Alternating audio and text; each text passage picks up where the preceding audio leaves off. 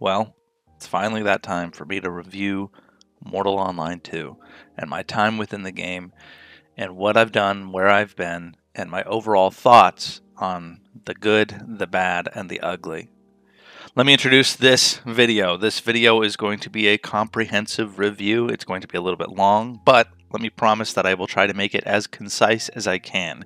If you're interested in a specific topic, look at timestamps in the description or just scroll along the timeline for something specific. But I'm going to go ahead and start with myself. Who am I? What have I done? Where have I been? What are my accolades within the game? Let me just start by saying that I've done everything that you can do in this game and then some. I've played this game around 4,000 hours over the course of a year and a half. If you do the math on that, that is a lot of time within the game. So, I've done everything in the game from solo play as a total noob coming in with no friends and nobody to play with, to small group play, up to starting and building a guild from the ground up that was largely successful all the way to the highest echelons of the game. The, the guild Black Priest lasted for about a year. We secured World First in the Necro Dungeon, which was the first and only dungeon they've added to the game since launch. And that's coming from nothing. We also built an alliance. We had four guilds in the alliance, and I was running that as well. I've also had that guild fall apart, right? I've had uh, Black Priest fell apart just because we had a bunch of different people, small groups within the guild that wanted to do their own thing on opposite sides of the map. So we broke apart. So I've experienced everything you can imagine from starting as a total noob in the graveyard, getting killed by the sweaty guys who played beta, all the way into running an alliance and having that alliance die. I've built videos upon videos teaching people how to play this game. I've kind of become the build guide guy in the community, and I get compliments and recognized all the time in game, which is cool. It is cool. It's a really nice feeling. Uh, th- some of those guides are dated. I will be updating them in the near future for any returning viewers that are curious about that. But I've played this game without even being inside the game. And what I mean by that is you can play this game on Discord right? Which is something that I'm going to talk about a little bit more in depth later in this video. I think of it as a negative, but you can play this game outside of this game as well. A lot of this game is ego, a lot of this game is shit talking, a lot of this game is just on the side. So, uh, introduction aside, let me go ahead and get started here. I've got some topics I'm going to cover. I'm going to talk about the tech behind the game. I'm going to talk about the PvP, the PvE, the crafting and profession system, the skill system and the tedium that comes with it, the community itself, the immersion, the developers themselves, and then my conclusion will be talking about all the pros and cons rapid fire side by side to give you guys an overall view of this game. So let's jump into the thesis that I have for this review. My overarching view of Mortal Online 2 is that it is not an MMO, but it is a private server, a very fancy private server, and that will be controversial, right? Some people will argue different different views, and that's fine. But let's talk a little bit about the tech. To give some backstory, since I know this is a review, and give some context, I'm just going to cover some of the basics. Mortal Online 2 is a game that has one global server. The global server sustains anywhere from 700 to 1500 players at any given time throughout the day, with thousands of players cycling through, logging in and out constantly throughout the day. That alone would be a good argument for saying that it is an MMO and not a private server. But there are huge downsides to this system that I'll talk about, and there are some upsides. One downside is it is a fantasy based MMO. It has melee combat, it has magic. Magic is one thing. It is somewhat easy to run that in a global setting, but melee comes down to split second decisions for parrying and riposting and actually attacking. So there are massive downsides to having a player on the server in the UK versus somebody in Australia. And the unfortunate reality is you cannot speed up the speed of light, and for every single action and response within the game, light has to travel around the globe several times, which can lead to pings in the 3, 4, 500 range for players in Australia. It is also bad for players in North America. The farther west, the worse it gets. And you have to download programs like ExitLag to try and re- reduce and mitigate this problem, depending on where you are in the globe. And it doesn't just affect the people in Australia, it also affects the people on the server because the people in Australia get handicaps, they get benefits called ping equalization. So it can feel unfair for both sides. And I feel this dramatically hurts the game for the small upsides that it provides. Small upsides include global server. You get to meet people all across the globe and become friends with them or enemies with them, right? And there are downsides to that culturally. Um, I feel that racism is a lot more rampant in different parts of the world from where I live in California, and I don't tolerate it. I don't deal with it. And there's parts of the community that it is normalized and I stray from those people. They've been they've slowly been shunned and they're slowly getting silenced by the community managers and stuff like that. But that is a huge huge downside is parts of the world racism is rampant and I don't tolerate it in my personal life. I'm not going to tolerate it in my video games that I play. So, there are downsides there. The upside is you get to meet awesome people from across the globe, and the majority of those people are awesome, right? When I was running Black Priest, like 30% of our members were from the EU. There are some really good friends that I will try to play other games with that I met in Mortal Online, but that just leads to another downside. Almost no other games on planet Earth are global. So if I want to play a game with Demra, or if I want to play a game with Ganondorn, I'm going to have problems playing with them on almost any other game. A lot of games block you based off your ping alone because it's not a good mechanic and it is not worth it. They squandered the opportunity with the UE5 relaunch of doing a new server for North America. Okay. So to avoid going on a tangent here and getting way into the weeds with the tech, that is a positive and a negative for the game. Other things in the tech department that they do extremely well right, is you do have high player counts. It is higher than a standard private server for most games, right? Unless you're talking like Factorio or something extremely simple. The ability that they have to have 1,200 players in the server at once, albeit spread out across the globe, is impressive, right? Their server meshing technology, where you go from one server to the other seamlessly without load screens or transitions, is impressive right? It is it's funny that you see reviews of Star Citizen and all these other huge, huge games, right? Star Citizen with half a billion dollars in funding compared to these little guys in Europe, this little tiny team that has had no load screens for years now, right? And you've got huge, gigantic battles with 400 players in real time, all fighting over territory, right? there is something to be said about the the tech behind this game. They are doing stuff that no other game can do. There is no other game out there on the market right now. None that can have 400 players at this level of quality, at this level of immersion, right? With melee combat and magic flying all over the place, and have all those people in one tight little place right? This replication layer, if you follow Star Citizen, that everybody is hailing as new technology, new fantastic stuff. Oh, it'll, you know, replicate the server so that if there's a server crash, it'll keep going. Mortal Online has had that for a while now, right? And it's, you know, props out there. Shout out to Farmer Joe, the guy behind all this tech uh, that's working for Star Vault. He's doing a fantastic job, and there is some unicorns working there that are just making shit work, and it is really, really cool, right? So there is things that Star Vault is doing that make this game amazing, right? So that's enough about the tech. The tech is cool. There's a lot of really cool things going on behind the scenes that you might not know as a player loading in and you take for granted, like being able to see Tindrum from across the planet. If you can be in the jungle on top of a mountain and you can look out over the horizon and see Tindrum, and then you can walk all the way there without a load screen and get to the city. That's super cool. Okay, but enough on tech. Let's talk about PvP. Pros and cons.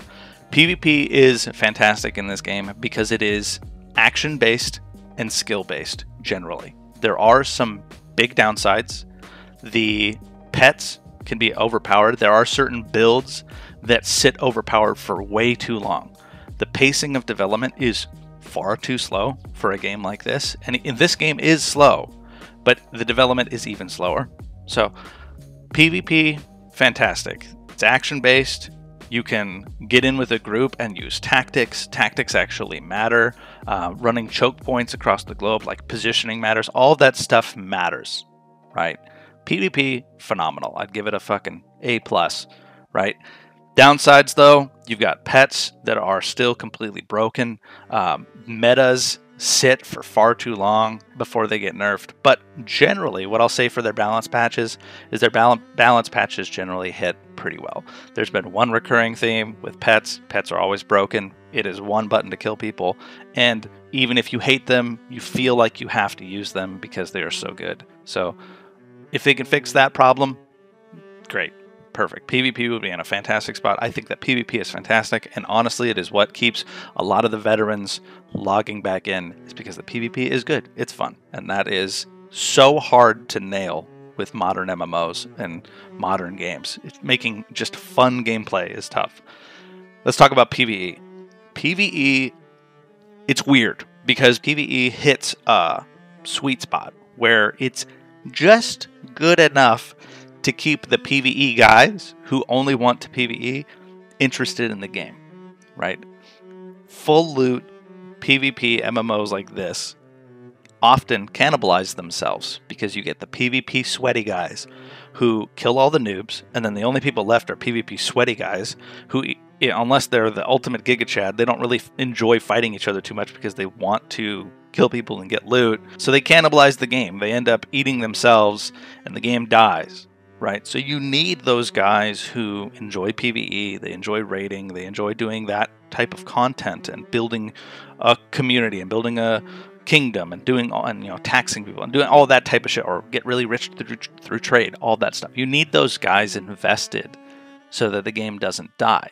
And this game has kind of hit a sweet spot with that, right? If you compare the PvE to other games that are focused on PvE, it falls flat.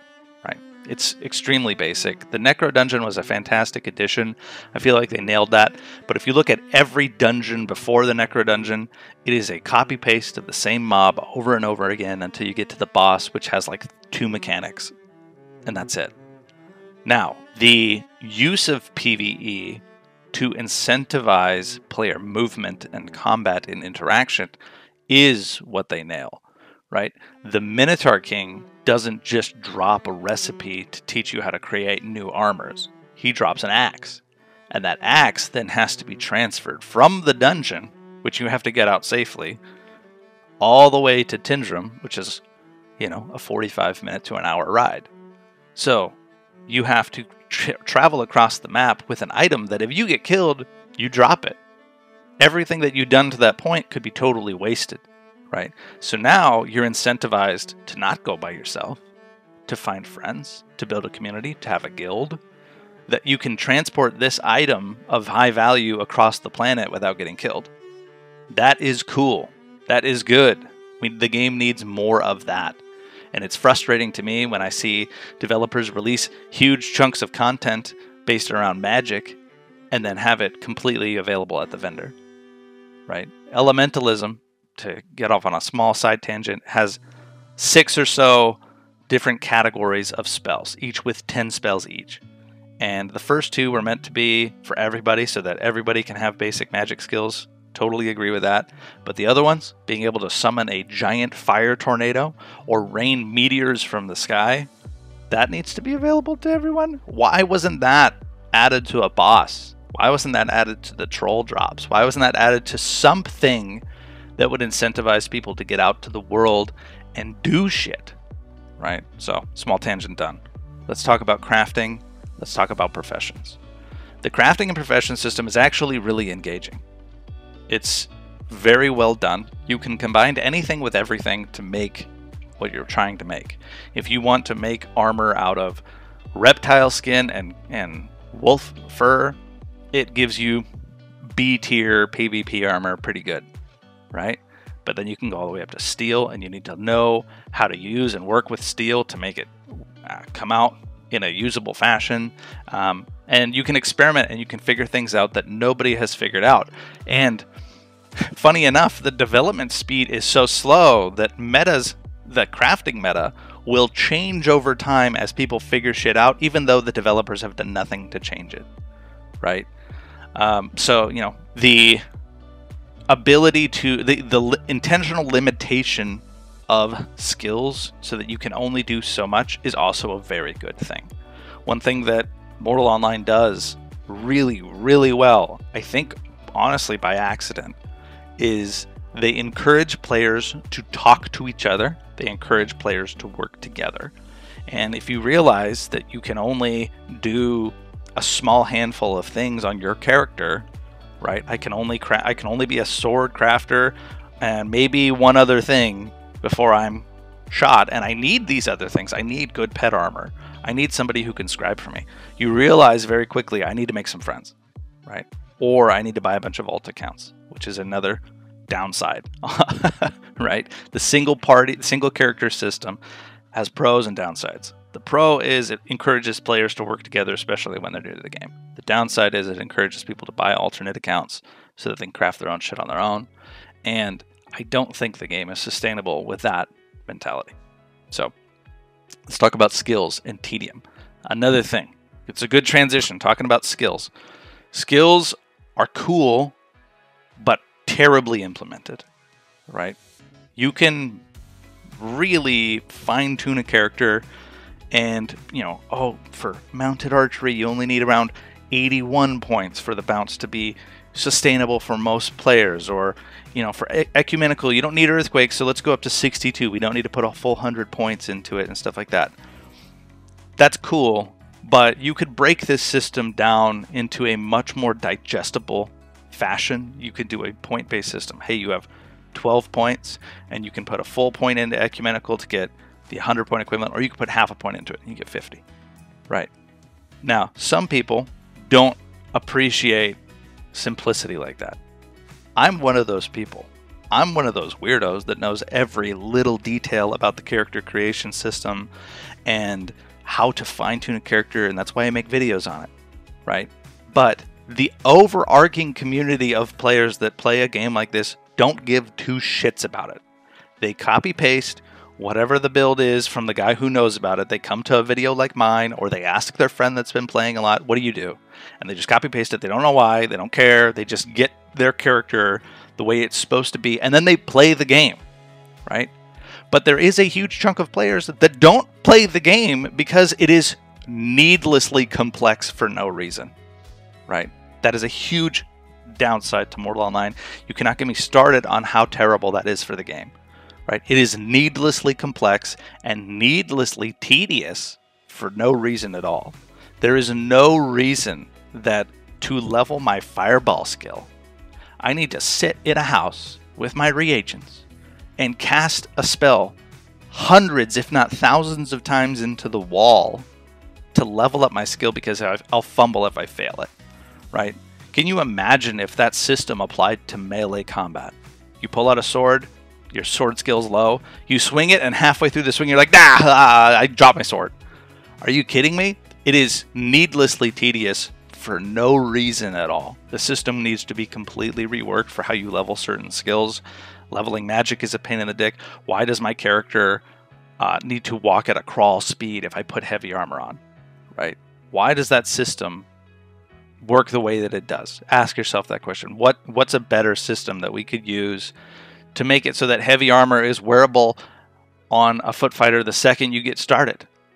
Make the stamina regen really low or um, there's a there's a, mountain of different things you could do to make it so that the skill system is still important. I still need to choose where my points go, and it still matters. And I can't just swap it on uh, on a dime, right? If I'm going into a battle, you do not want it to be so easy that I'm a mage right now. I'm going into a fight and we don't have any foot fighters. Boom, I'm a foot fighter by just swapping my points around. That is way too easy. Nobody wants that.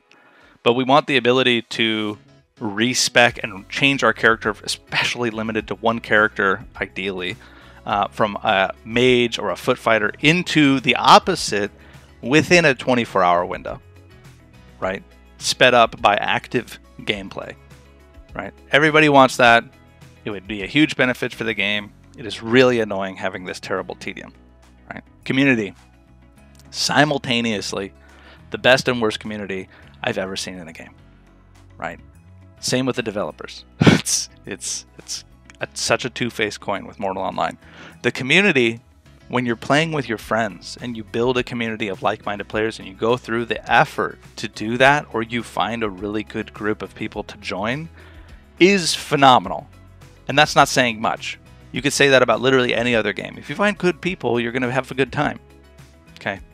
But what I'll say about Mortal Online which is kind of a downside, is if that community falls apart or stops playing because they lose interest in the game, then your gameplay is destroyed. There is no comparison playing solo versus playing with a group. If you're playing with a group, you can do anything. If you're playing solo, you can do a small handful of things. Most of them are not going to benefit you at the stage of the game that you're in because you've done that stuff already. So when your group falls apart, you either find a new one, which can be tough in a small game like this, or you're done with the game. So the community drives the game, but it's also terrible because of how small it is, and largely because the developers have not provided a good way to talk to each other. They rely heavily on Discord. There's a lot of functionality in the game that you can do only through Discord. Global trade is done through Discord. High value items, all done through the official Discord. This is not some side Discord. There are those, but most of the trade is done through the official Discord. Finding a guild, official Discord. The fact that these functionalities do not exist in an MMO and they rely on players in the modern world to come to their Discord to figure this shit out is insane to me. Why is there not a guild board in a town limited to, you know, your guild gets to pick one town to put your your name in, right? If you're a Bakti guild or whatever, or a Fab guild, why is that not a thing? That takes five minutes, and it's not a thing. So building a community, right? You got guys like me who build guilds, right? Building a community is inherently difficult because finding people to talk to is difficult. And the only reason is it is as successful as it is, I believe, is on accident because of the mechanics that they've put in place to encourage players to work together, limiting skills and stuff like that. So give players the ability to talk to each other in the game world in a meaningful way. Now, I don't mean global chat. In fact, help chat should be disabled for lack of a, a better tutorial, right? So the community Simultaneously the best, simultaneously the worst. This is the only game that I've ever covered where I got death threats. I'll just say that. So, Robmo, he gets a lot of hate, but at the end of the day, I think Robmo is a fantastic thing for this game. He has done a lot to kind of clean up the community and remove the hyper toxic, the racist, the, the what I would consider evil guys in the community. Um, so, props to you, Rob Mo. I think you're doing a great job. Keep going with what you're doing and kind of yeah, he he reels Henrik in and kind of puts him back on track occasionally, which is also nice. Right. Let's talk about the developers. That's a good transition to talk about developers. Star Vault Games, run by Henrik, simultaneously the best and worst developers of all time. It is crazy to me. I went back and played Mortal Online 1. That is a dumpster fire, and it is crazy to me that Mortal Online 2, Line 2 even exists, right? Their GMs simultaneously best and worst GMs of all time. You can talk to a GM and get the best hands on, most personal service you've ever had in a video game ever. Or flip the coin, talk to a GM and get completely cold shouldered or completely ignored because they have no idea what you're talking about. It's rarely in between. So when when it works, it works. When it doesn't, it's terrible. So I can that's all I can say about that. But developers, Henrik is an interesting guy. He is very clearly a player. He's very clearly one of us who just really, really wants to make the game that he wanted as a kid and is going the extra mile to make that happen. You can tell genuinely loves this game. He genuinely loves what he does. There is no other CEO on the planet, no other game developer on the planet that logs in on Twitch every week to talk to their community and answer with a smile the same questions that he's been asked thousands of times before. What really drives it home is oftentimes his streams will go for an extra two, three hours because he just enjoys talking to his community and talking about his game, and he just enjoys being there and having a good time. So nobody can question this man's passion and his goals and what he wants for his game. But what I'll say is that some design decisions are antiquated at best. The single player, single character decision is very clearly just a alternative revenue stream that doesn't benefit the game at this point. Having limited to one character is insane. No fast travel at all, stop, like end of story, hurts the game, right? There are ways to do fast travel because the pacing in the game is so terrible that you could severely limit the tangible benefits of fast travel. I understand the overarching vision of, oh, well, your logistics need to be in place and it takes them a long time to travel across the world, so attacks can be ambushes and all that. I understand all that. But the tangible benefit of that is largely just in your brain. You think that it's cool, it's not actually cool. Sweaty guilds that care about that type of shit have multiple accounts. They have multiple players logged out all over the place. Everything that's important that they would need to defend, they've got a character there, right? So why can't we have a player that is completely naked, just absolutely naked? You cannot bring anything other than your soul-bound items like your jewelry, like when you travel as a ghost, right? That's the only form of fast travel in the game. When you click home or you click priest, you fast travel as a dead person. Uh, why can't we have that as a living person going from capital city to capital city?